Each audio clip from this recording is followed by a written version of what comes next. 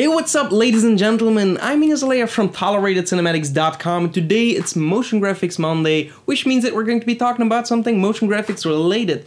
Today we're going to take a look at how to create a write-on text effect, which is a really popular thing in vlogs or travel videos, and it's really fun to do.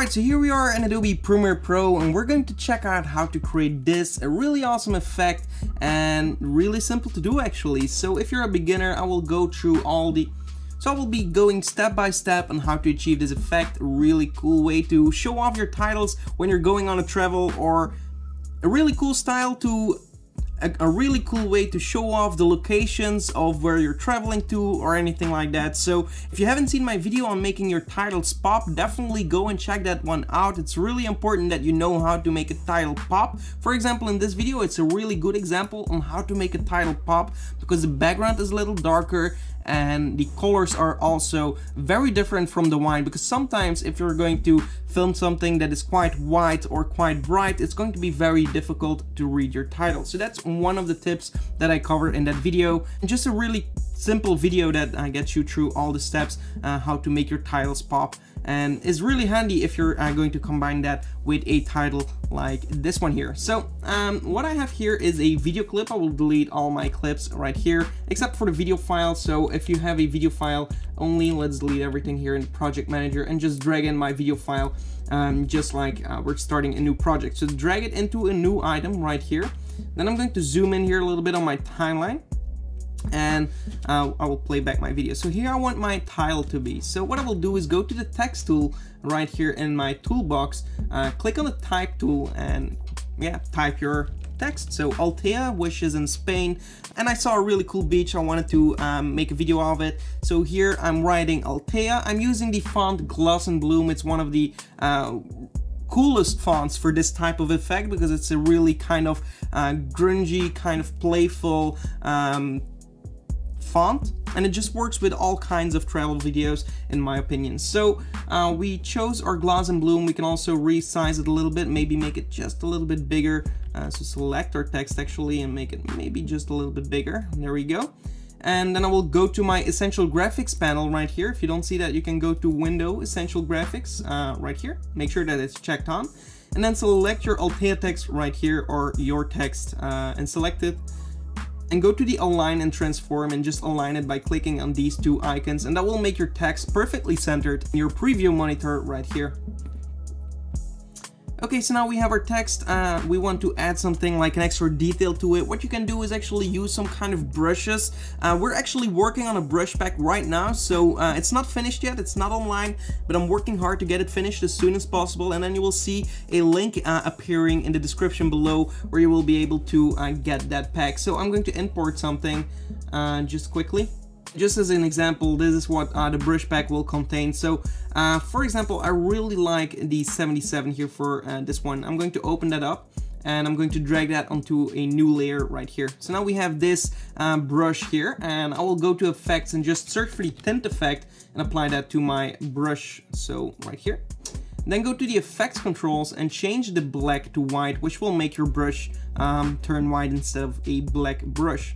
And then of course we want to rotate it a little bit to fit into our scene, maybe something like this. Also move it uh, a little bit more down, so um, let it position right below our title.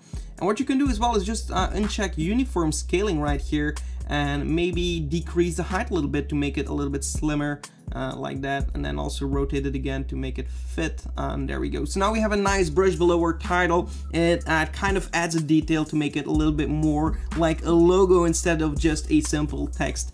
Uh, and it, yeah it will just show off that you put more effort into your title. So um, now what we want to do is actually write on our title. But before we do that I want to select these two layers and actually extend these two layers to actually fit the time of our um, original video Okay, so go to the effects again, and now we're going to search for write-on. And write-on is actually under video effects, generate, write on effect. We're going to apply that to our text. So drag it on top of your text layer, which is Altea right here. And then uh, we have it right here in our effects controls. We can actually close our text write on effect. Okay, so we have it right here, great. I'm going to change the color of my write on effect because now it's going to be white and if we're going to increase the brush size, for example, to 35, you're going to see a uh, little ball, like a little brush appearing right here, but you're not going to see the difference between your brush and your text. And when you're actually uh, animating your brush, uh, you're not going to see that your text is uh, coming true or not. So uh, we want it, want it to be a very specific color that is completely different from our text. So if you're using a red uh, text, white would be good. Uh, but in this case, I will just turn this to a red color. And now you will actually see very clearly that your brush is right here.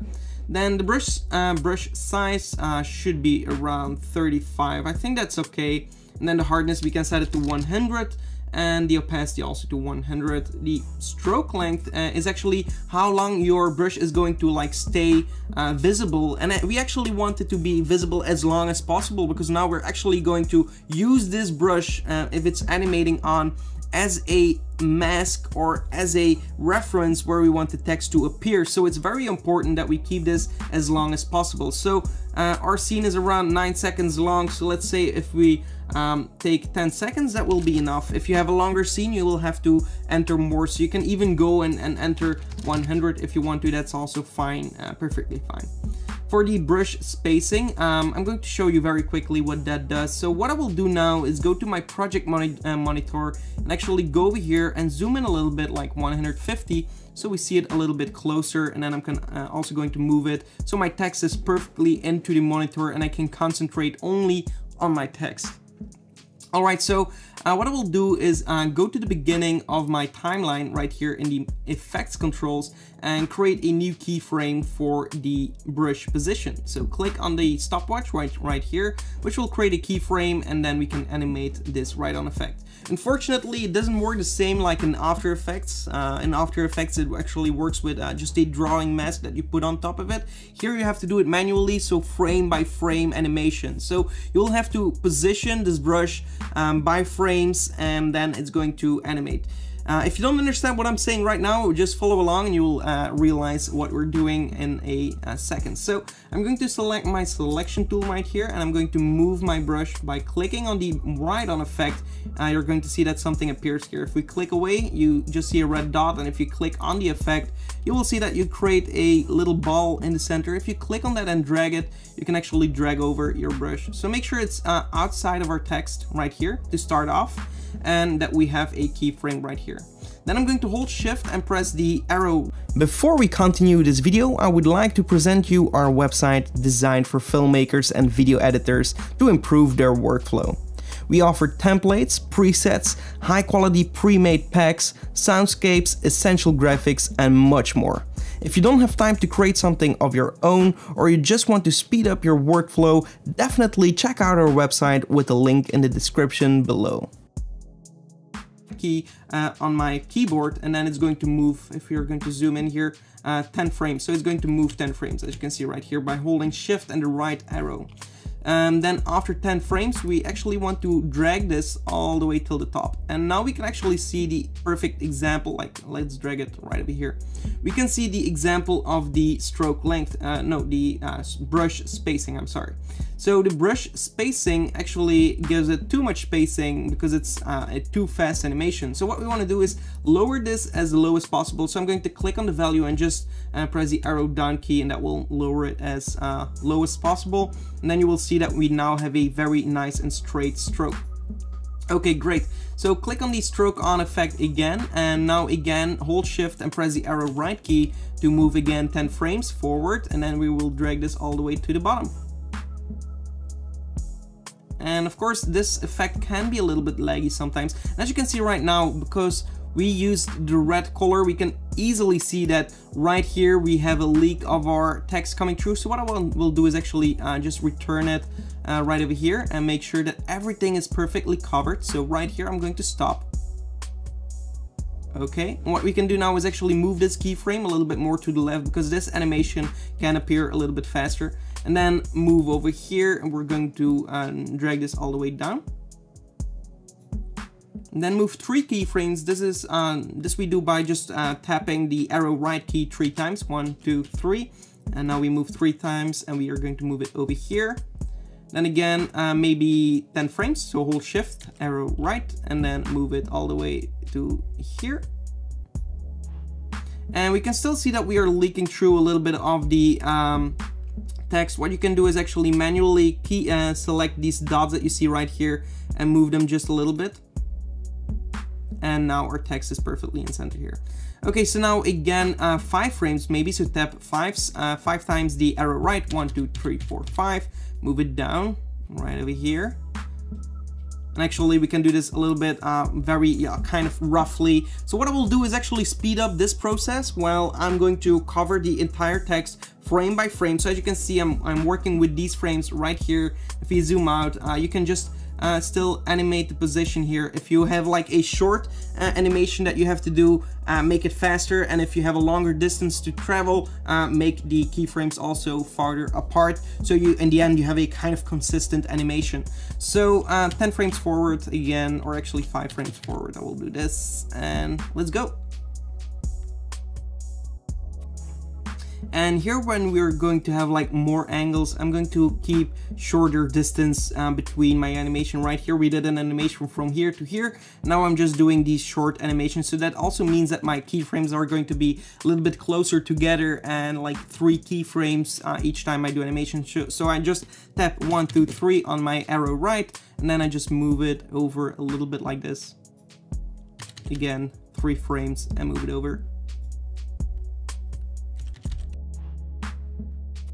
Okay, so now my text is entirely covered and we can see that no white is leaking through here. So now what we want to do is just go to the paint style and currently it's set at on original image on original image we want to change that to reveal the original image and that will reveal our text uh, when the brush is entirely covering our text. So if we're going like in the center, we're going to see that uh, our brush write on effect is appearing right here. So if we go all the way to the beginning and preview this, so uh, we'll fit this again to the comp, we'll see a animation of our text getting written on the screen. And of course, it depends on how you write it. For example, here the T animation, I don't really like it. I preferred it in the uh, preview. Um, but yeah, you can play around with all these settings. And now what you can do as well for the brush here, you can do the same kind of technique with the write on effect, but it's not necessary. You can just easily click on this uh, image and search for a linear wipe uh, transition here and just apply that to your PNG image and then set it at 100 click on stopwatch, move this keyframe over a little bit and then set it to zero and then just feather it like 50 and then in the center you're going to see that uh, we're going to have an animation of the brush getting written on in 10 frames. So this keyframe is right here, 10 frames forward. Um, actually in 10 frames, 220 keyframes maybe. Move this keyframe over. Okay, so now let's preview.